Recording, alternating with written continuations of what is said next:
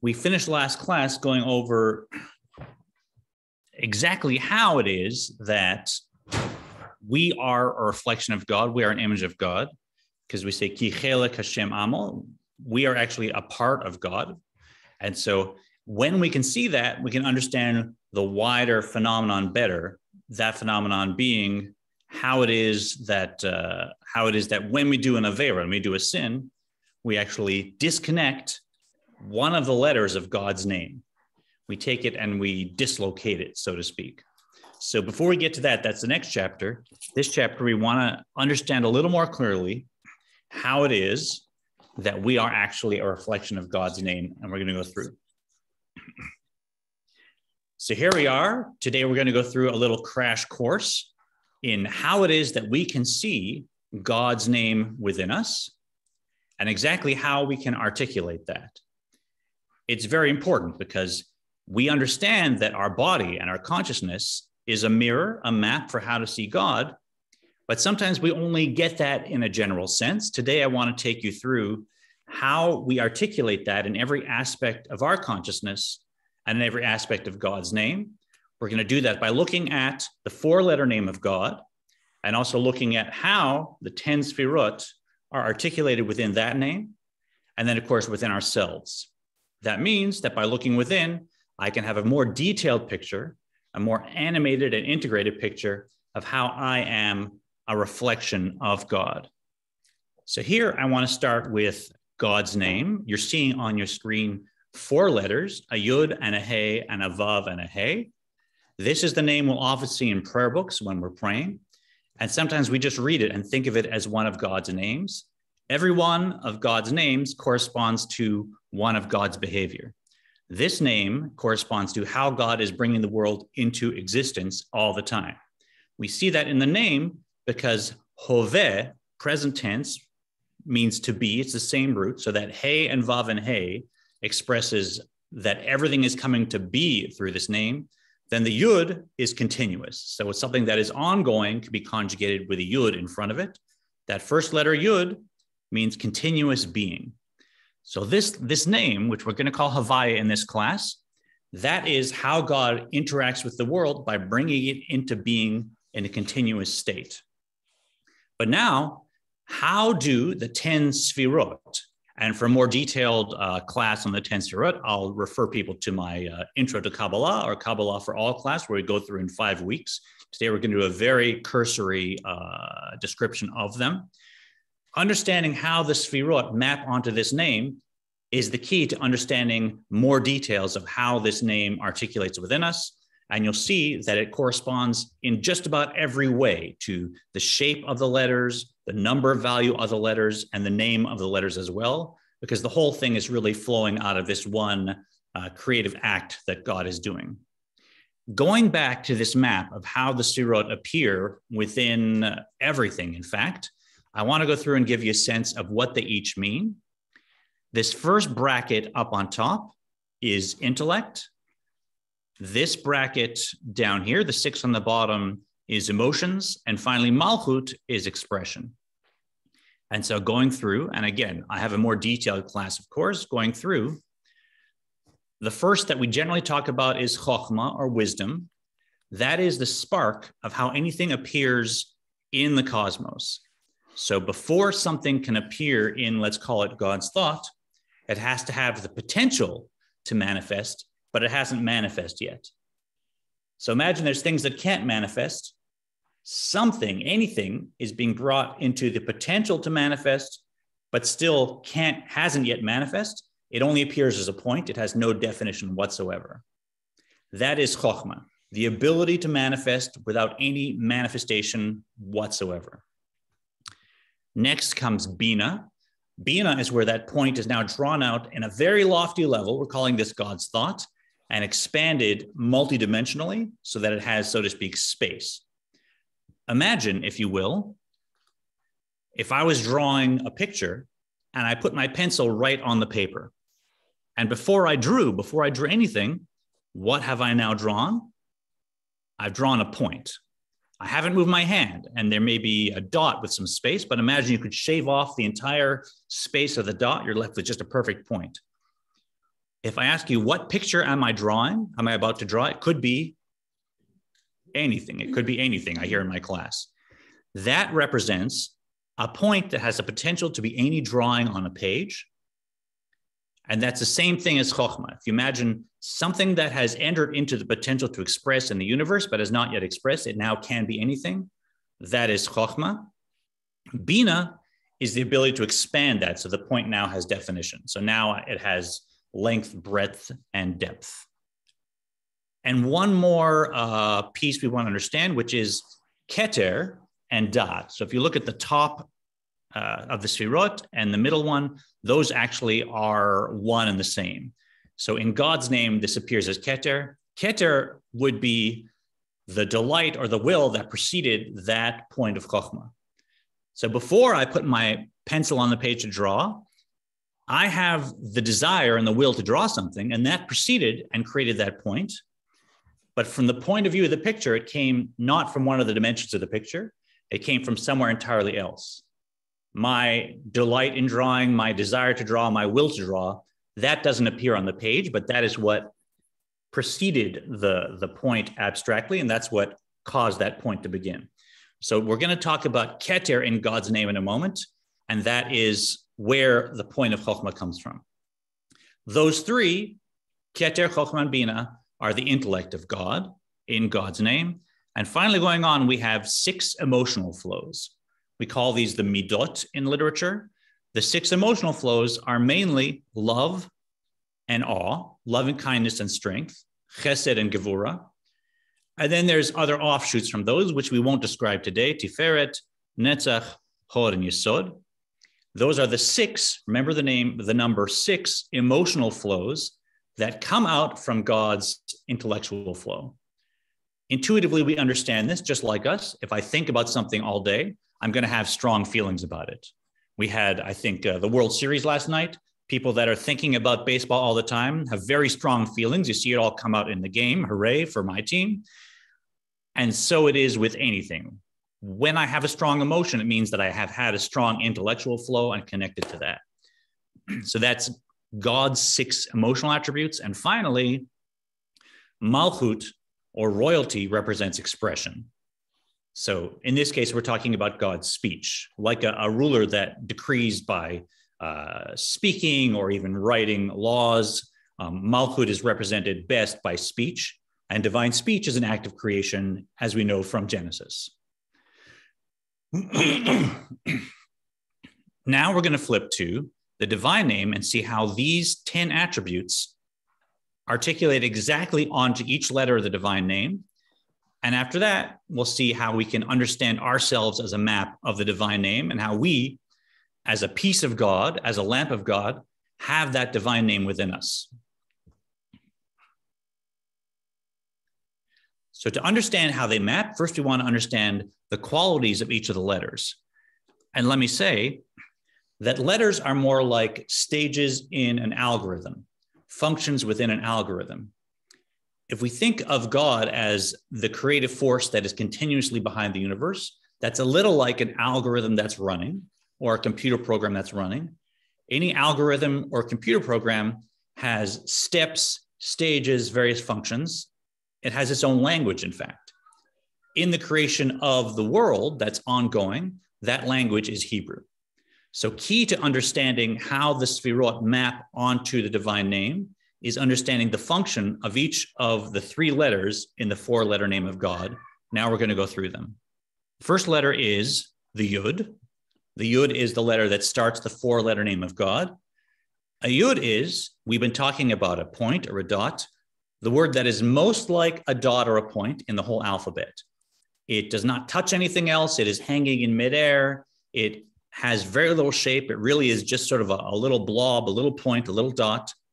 Um, and it represents Chokhmah in the alphabet, in the 22 letter uh, alphabet of the Hebrew language. So that starts the divine name, and that corresponds to when anything is brought into being in the universe, it starts as a point of pure potential within divine consciousness. It hasn't emerged in any way at all, and it emerges just as a point of divine light. So, that point we want to understand is Chokhmah. And Chokhmah very much is articulated by the Yud in the four letter name of God. As well, we mentioned there's something called Keter, which is where Chokhmah comes from. Keter you can describe as will and also desire and even delight in its inner, innermost state.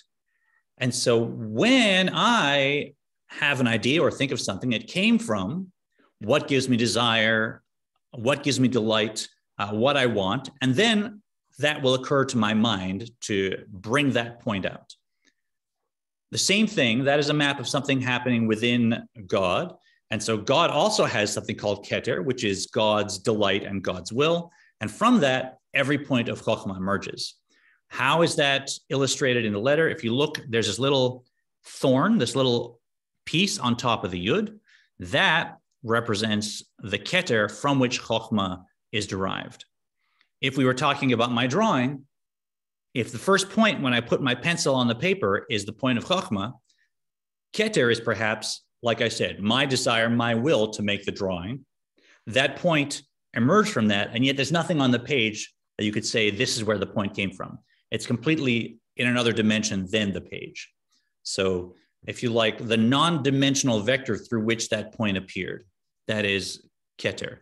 And that is the point of the Yud, the crown, the thorn on the Yud in the divine name.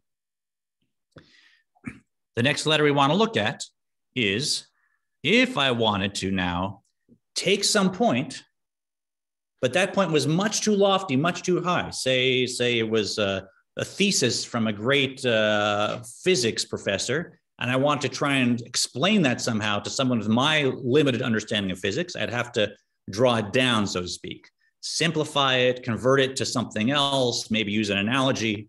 There's many ways we can draw something down from one level to an entirely other level.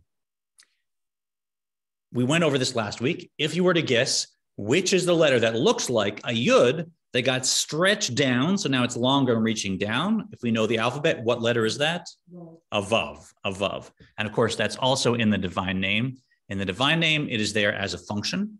So if I'm going to take this yud and stretch it down in some way to make it applicable, and down, of course, doesn't mean down towards the ground. Down means in an abstract way to a lower state. That is going to look like a vav, a yud that is stretched out.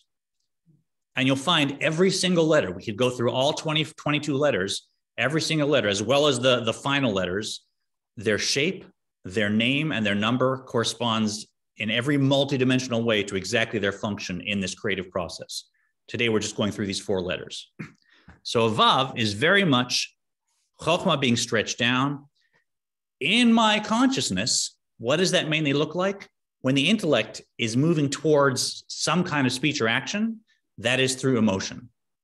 If something occurs to me and I don't care anything about it, what will happen?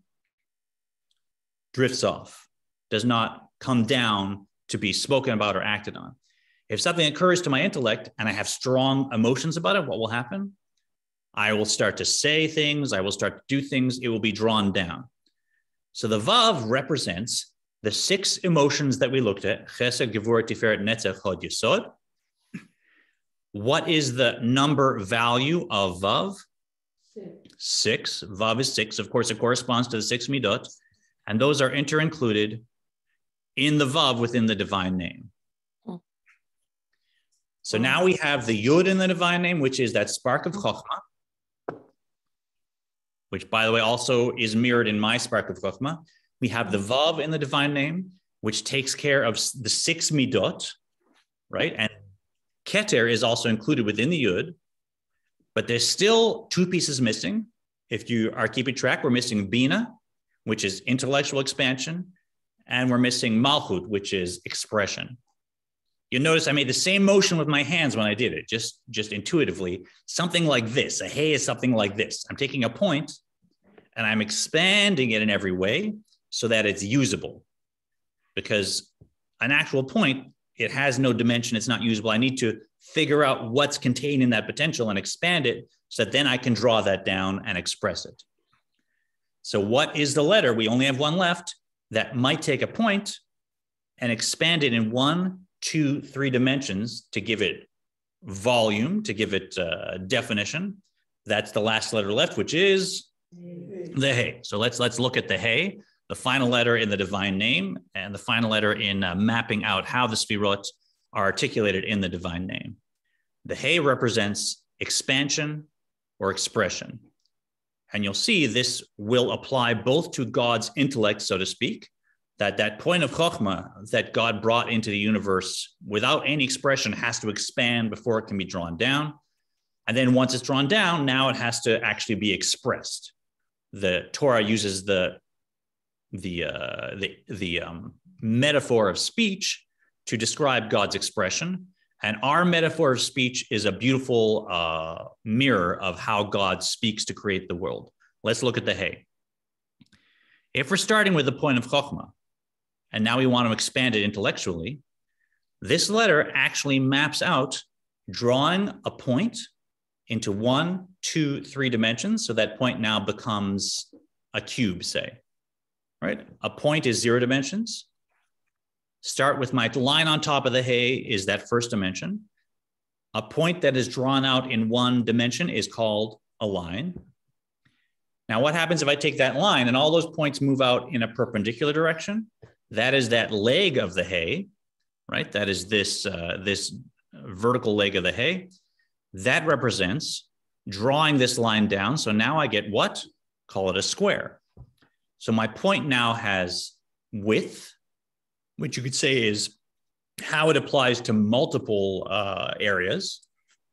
Right. This idea about physics might also apply to relationships, might also apply to nature, might also apply to story writing, all these different ways that this idea could express. That's the breadth of the idea. And then the depth of the idea, that's how far I can draw it down, how far I can simplify it to, to more and more basic concepts, right? Take the very abstract concept and draw it down to more and more simple terms. And then to get a square, you need a third dimension. And the yud here on the bottom left represents that third dimension. If you can imagine it pointing not upwards on the screen, but towards yourself on the screen, now you'll see that allows this original point to be drawn out into an actual cube. And that is the function of the hay. The hay takes that point of chokhmah, that is the yud, draws it out into a line by giving it breadth, draws it down again into a plane by giving it, uh, uh, uh, sorry, breadth and then depth. And finally, creates actual three dimensional space by, by bringing it out into a cube. If you can imagine in your own intellect, that is the process by which any inspiration you have, you can, by using any intellectual process of categorization or crystallization or analysis, expand that point into a three dimensional idea it also represents expression, as we'll see uh, in, in a moment. There, is there anything about why it's detached? Why the is detached? There is, there is, and that that applies more to when we talk about thought, speech, and action. Uh, remind me, and I'll try and cover that. Uh-huh. the part of the hay that's detached, the little. That was my question. Is I still don't understand the three dimensional aspect of it. I understand the drawing across and the drawing down, but I don't understand the three-dimensional aspect of the bottom part of the hay. You don't understand that uh, geometrically, or don't understand that how the how the yud does that? So the yud, the yud, I know we said it's a point, but it's going to look on when you draw a hay, it's like a little line. Mm-hmm. So imagine that line. If this is the hay, you get chink chink. The line's not pointing that way. The line's pointing that way. You couldn't draw that on a page, so we draw it this way. But if you can, if you can imagine the Torah has every yud has a little, little, it's pointing out towards you. It's saying not this dimension, not this dimension. The third dimension that's not on the page. Now it pops out, and it's like a, imagine like a fold out greeting card, right? It goes boom, like that. So the yud's pointing this way in this in this in this analysis. Does that make sense? Uh, that's why. So that plane that's on the page, if you take it and I pulled the square out like that, now it, it's just created volume, right? Because now it's a square, it's a cube. Make sense? so moving on, we now want to look at the four letter name of God again with all this in mind so we can put the pieces together. So looking at these four letters, there's a first two and a second two that are distinct. The first two, the yud and the hey, this is let's call it God's intellect, which is within God. The Vav and the Hey, that is God's emotions and expression, which is relating to creation. And if we go through, we see that Keter, which we described, that is the thorn on the Yud, which is what is leading God to have this point of inspiration. Chokhmah is the Yud itself, that represents the point through which anything comes into being, through which the universe is being uh, created. And there's your point. Now, Bina, that is the intellectual process which expands that point. That is that first hay. And we have uh, length, depth, and this third dimension, as we saw. So we have we have now this point of Chokhmah has expanded into a full divine thought concept, let's call it. Finally, God has six midot that express. That's the uh, six value of the Vav, which brings that divine thought down closer to creation because God also has uh, aspects of love and awe, etc. And finally, God expresses all that through Malchut, through the final Hay. And if we want to talk about how the Hay uh, expresses speech, there's a few ways of doing it. One is the name of the Hay. Everybody say hey with me. Ready? One, two, three. Hey. Now make the sound of what a hay makes. Ready? One, two, three. What is that? It's breath. The very sound that a hay makes is breath. And where does speech come from? Breath. You have to breathe to speak. Breath is the source of speech. So, breath, the sound of air passing through my organ of speech, is what creates speech. And my organ of speech has how many openings that shape the breath? First, it passes through my throat. Ah, that's my throat. Then it passes through my palate, like ah, yeah, yeah, yeah. You do that with your palate. Then it passes through your tongue, la, la, la. Then your teeth, then your lips. So I have count them: throat, mm-hmm. palate, lips, teeth. Mm-hmm. Sorry, throat, palate, lips, tongue, and teeth. I have five openings in my vocal organs. And what is the number value of uh, hay? Five. Five. Beautiful. Right. So in every way, we see number, shape, name. All these letters correspond exactly to their subfunctions within this larger algorithm of the divine name. We could go on now and show specifically how those express within us. We've touched on it. But the main point I want you to take from this uh, crash course is that when I look inside, when I understand my consciousness and how it works, it is a perfect map of how those 10 sfirot also articulate within that divine name of Yud and He and Vav and He. And even more so by mastering how my flow, coming from my desire and will, going through my chokhmah, my intellectual process, my emotions, and finally how I express, when I master that, it is in some way mastering a small piece of how the divine name is expressing in the world. And it is your immeasurably important puzzle piece that you have to add to the world. Thanks for joining us for this. Uh, you, please look for more uh, videos in the future. And certainly, if you want a better uh, explanation of the 10 Sfirot, I'll invite you to watch my class, Intro to Kabbalah.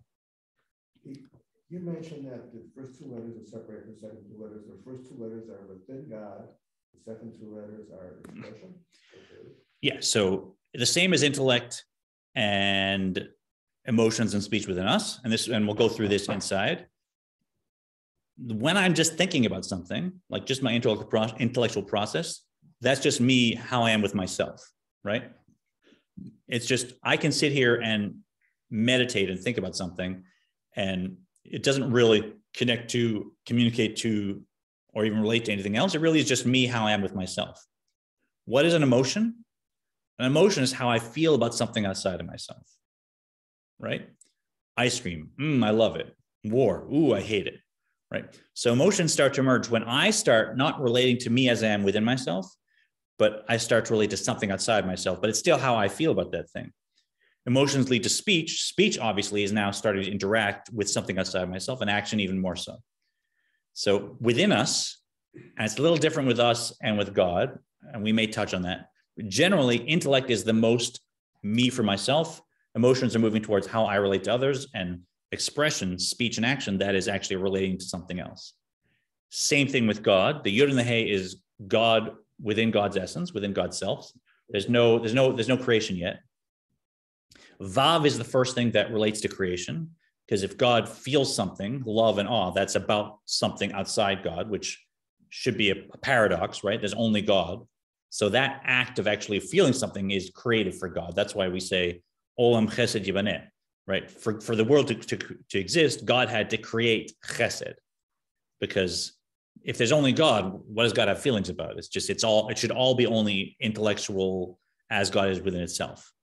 So even once God has a feeling, that creates something. Whereas with us, it's different, as we'll see. But certainly, God's emotions and God's speech, that now is something relating to creation, because when God speaks, it's implied that there's something God's speaking to. That's creation. So that that that dichotomy that's within us and it's within God. Any questions? I'm gonna I'm gonna go back inside now. Good. Let's uh let's go. We're on page 220. 220. So that was all us explaining all the 10 sfirot are included and represented in their source, the tetragrammaton. So that second, that third paragraph. Right. That was that was my best attempt so far at trying to explain that concept. that these 10 sfirot, they're included in the tetragrammaton, they're included as powers within us, and they're the best way to animate and understand how we are, in fact, a map of God. And now we'll go through with the Alter Rebbe's words, right? Ki hayud shehi levad meramezet yiparech. The yud, which is a simple point, extending at either length, at neither, in neither length nor breadth, indicates God's wisdom, the Sephirah of Chachma. So I hope as we explained, that Yud is that point. That is something new that I wasn't aware of, that I'm now being exposed to in some way. Or some in this case, with God's creative name, something new that the unit that is coming into the universe that wasn't there before. And it has to come first as a point that has the potential to express not yet expressed. שהיא בבחינת הלם והסתר קודם שבאה לבחינת התפשטות וגילוי השגה והבנה. I don't have the text today. Okay, uh, if you want, you can email uh, Yes, uh, Helene, Helene. H Deutsch, H D E U T C H, Wait a or minute.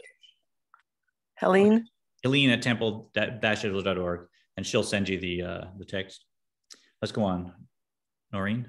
Which is the state of concealment and obscurity before it develops into a state of expansion and revelation in comprehension and understanding. right? So we now we understand this. Something appears in our consciousness as like an aha. We don't yet know what it is for a moment, for a brief moment, then it expands. So same thing in the cosmos. God's intellect enters the cosmos first as a point before it develops into any revelation. And we talked about where that point comes from and, and that thorn on the yud. Ratzon mala kanoda. Go ahead.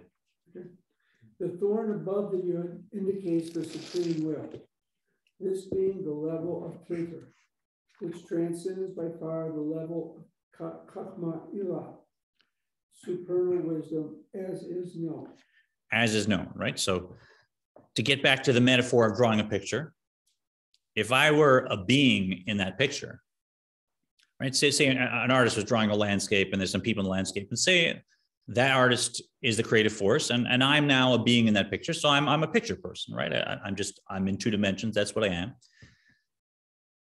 So anything that exists in that picture, tree, mountain, cloud, it started when the artist put their pen, pencil, paintbrush down on the page. It started as a point. And if I were in that picture looking at that point, and I say, where did that point come from? Well, it, it far, far transcends the level of Ilah. How you describe the creative drive in the artist that created that first point that began any aspect of that picture, how would you describe that to someone in the picture? Well, you're a picture person, but there's real people that have feelings and emotions and they get inspired and that inspiration leads them to try and paint something and just before they start painting something there's a moment where they they touch our world and then the thing emerges from it but to try and explain to me a picture person who doesn't have a brain and i'm just in this two-dimensional world where that point came from you just uh, you know? It far far transcends even the level of the point that has not yet emerged right? So now try and project that to our world right? Anything any real thing in our world that's coming from the infinite for us to try and understand the inspiration within the infinite that leads to any point of chachma it's just you have to leap so far beyond our ability to conceive of anything that all you can say is it's just it's keter, right? That's why we we never really talk about it in when we teach basic Kabbalah, because keter, what do you talk about, right? It's outside of even our ability to nullify ourselves to the point that something new can occur to us. And but beyond that, how do you get there? so that that's how he describes it. Now we're going down past the yud. V'achar sheba'a lifkinat hitpashtut v'gilui asaga v'havana le'almin stimin when the seminal point of Chokhmah is eventually amplified and revealed as something comprehensible to the concealed world, that is when it descends to the level and smell of Bina. Right. So I'm still in the concealed worlds, right? In the Yud and Hey and Vav and Hey, that dotted line, I'm still here in the Yud and Hey. That's just worlds that, that don't even have any reality or being, they're just godliness. But when that point within that world, that hidden world, is extended in breadth and depth, etc. That's the function of Bina. That's the hey. I'm taking that point and I'm expanding it now. וגם לאורך המורה, על בחינת המשכה וההשפעה מלמעלה למטה על מין סתימים. Oh, okay. And uh, Paula, why don't you read for us? It'll be the second paragraph, נכלל ונרמזת באות ה' שיש לה בחינת התפשטות לרוחב המורה ומרמז על הרחבת הביאור והבנה. I'm not sure what second paragraph is then contained. Is that where we are? Yeah, and let's do all the way down to the middle of the page. Okay. It is then contained and represented in the letter Hey of the Tetragrammaton. This letter extends in breadth, implying a breadth of explanation and understanding, which is the function of Bina. The It letter, also- yeah, go ahead. the letter Hey also extends in length to indicate extension and flow downward into the concealed world. Right. So this is, as you said, it represents uh, breadth, which means this point of chachma could apply to all these different concepts in reality. Right. So say say when God created um, the concept of time. Okay, so time is a perception of change.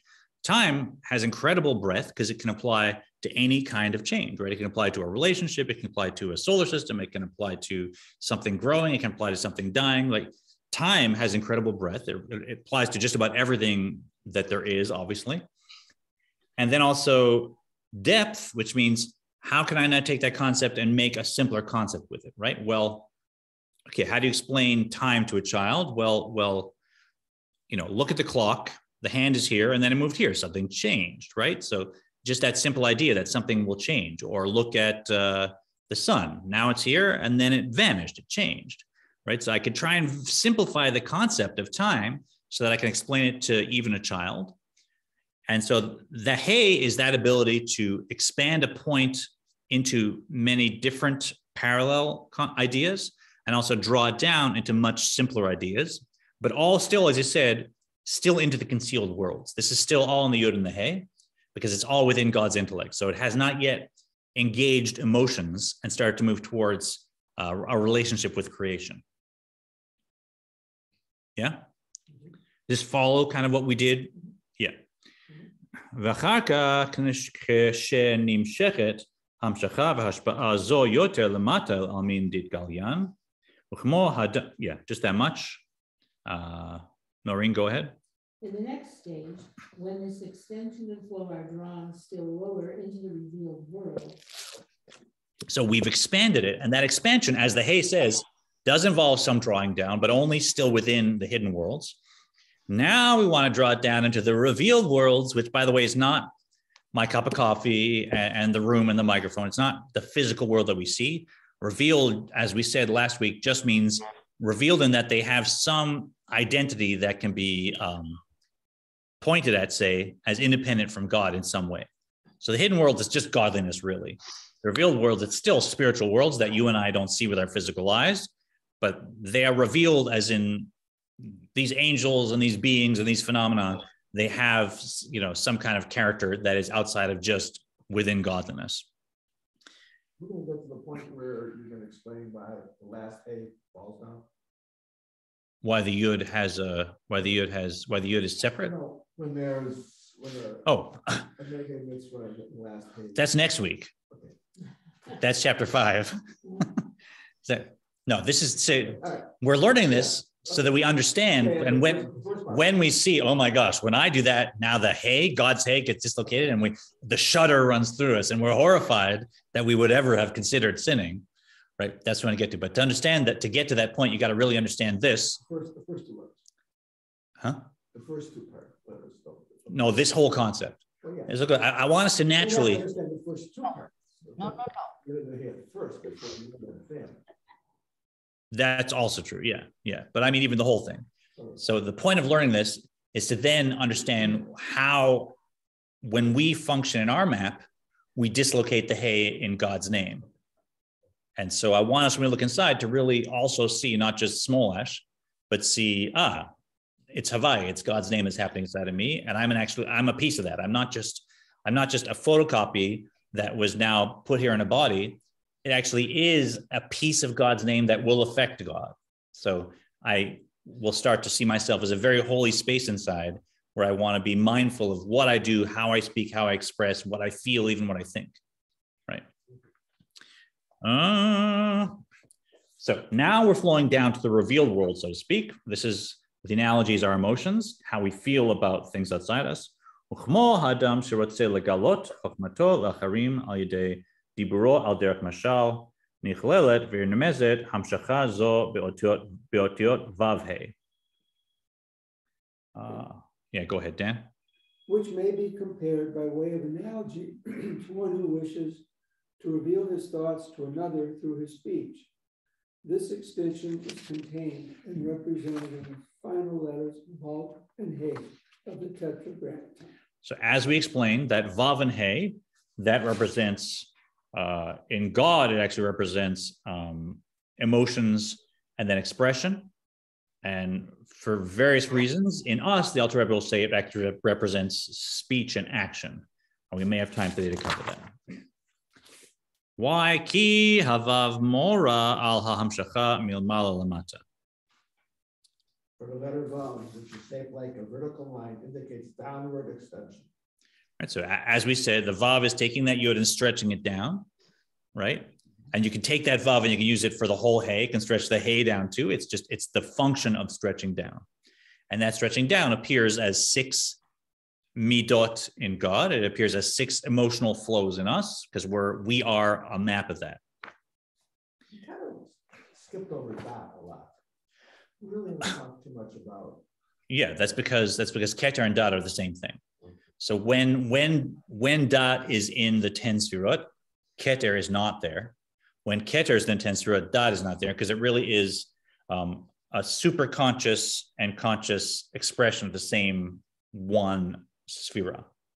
I thought, I thought, I thought Keter was more unexplainable, so beyond our comprehension, but that is more of an action that takes place after you. After you've We Yeah. thought of it always as a combination of Bina and Chachma. and Right. Bina. it's that yeah, it's that too. It's that That's too. how that's how we learned. it. Yeah. So so uh, let's let's take it. Let's take a detour. Yeah. Yeah.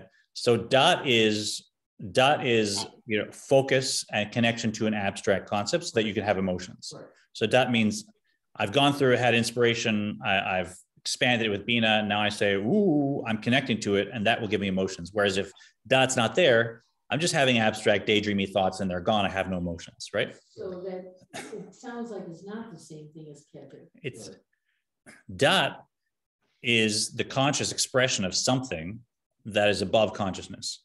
Because how do I decide what that occurs to my intellect I focus on and connect to? And how do I decide what that occurs in my intellect I just don't connect to and have no feelings about? Right? Daat is the conscious result and expression of something that actually is above Chokhmah, because really, if say I have thought A and thought B, intellectual concept A and intellectual concept B in my intellect, what's deciding that A, I'm going to profoundly feel something about a connect to, and B, I'm going to whatever. It actually is what I want generally. It is what gives me uh, delight and what I, and what I desire and what gives me delight, right? So when I look at daat, it actually is the conscious expression of the desire that precedes chokhmah, and that's why certain certain sparks of chokhmah will attach to me through daat, and certain sparks of chokhmah they really didn't come from a deep place of keter, so daat is not firing. So that's why they really are. It's one phenomenon, but that phenomenon has a super conscious source and a conscious flow, right? so in Kabbalah, you either talk about Daat or you talk about Keter because they really are one sfira. It's just they have they have they have like a binary they have a binary expression. Yeah. Where were we? Vegam המשכת זו היא על ידי מידת חסדו וטובו ושאר מידותיו הקדושות הנכללות בדרך כלל במספר 6, 7 פסוק, Lecha Hashem Agdulav v'chulu ad lecha Hashem Hamamlecha v'chulu v'lo ad bichlal. Uh, yeah, Paula, if you take this one for us. Where am I again? also, also this downward, chapter 4, 222. Okay, wait a minute. Also, this downward flow, is that the right one? Yeah. Into the revealed worlds is effected through the divine traits of benevolence and goodness and God's other holy traits, included in, oops, included in general terms in the six attributes. The numerical equivalent of above in the verse, yours, O God, is greatness, until yours, O God, is sovereignty, but not including it. So here I have on the screen the verse that the Alter Rebbe is talking about. Lecha Adoshem hagedula v'hagevura v'hatiferet v'hanetzach v'hahoti chol b'shamayim u'varetz Lecha Adoshem hamamlacha v'mid naseh lechol lerosh So we heard that a million times when we take out the Torah. Why do we sing it? Because God's emotions are now flowing down to us. The Torah is God's intellect. And now these emotions are flowing down in the form of laws and and and uh, and, and uh, traditions, etc. Right? If you go through, this actually is also a map of the divine name, or of the midot in the divine name. To you, Havaya, like so, there's two yuds. That's a shortening of the yud and and vavane. So to you are all these emotions. Gedula is a, a synonym for chesed, right? God's greatness is God's love. So Gedula is another name we use for chesed. And then, of course, we have Gvura, the actual name, Tiferet, Netzach, Hod, my gosh. These are the midot, right? Right in order. Kichol that's that's uh, Yesod. And Lecha Mamlacha, that's Malchut, right? Mamlacha is kingship. So this could be seen as a beautiful poem with all kinds of emotions that that we should that we should love God and fear God. God's the greatest. But also it's a, a, a formal map of the same thing we just looked at in terms of the midot right? So, so that is that is the downward flow. That is the vav as well. This is mapping out the vav of how all these emotional flows are causing God's intellect, which is now expanded, to move down towards creation. Uh, I'm looking for a good place to stop because we're a little past time. Let's go just two more. Ki midat malchuto yitbarech nikret b'shem devar Hashem, kmo Basher Devar Melech Shilton. For his attribute of sovereignty is called the word of God, and speech is not one of the midot, the spiritual emotive attributes, as in the verse, wherever the word of the king holds sway. Supernal speech then is related to Malchut, God's sovereignty. So I'll need to finish here, but next week we'll we'll finish up with how the hay represents speech, and you'll see the same thing we discussed. Uh, the hay is the sound of breath, is the five uh, oral articulations, the throat, palate, tongue, teeth, and lips, and in every way it represents God's speech. The same way that uh, the hay is represented in my speech in my own little map of the divine name. So, uh, all this, like I said, all this is impressing and mapping out for us how we are a piece of God in every dimension, every aspect. Because in chapter five, we're going to look at what happens now when I take this piece of God and I do something counterproductive and I do something that harms uh, the cosmos or myself or another. And it actually, as we said, has an effect on God's very name. So I'm not just affecting myself, I'm affecting the source of the whole cosmos. Thanks for joining us. If you'd uh, if you'd like to join us in the future on Zoom or anywhere else, please email Maya at temple-israel.org. It's been a pleasure. We'll see you next time on Gateway of Atonement.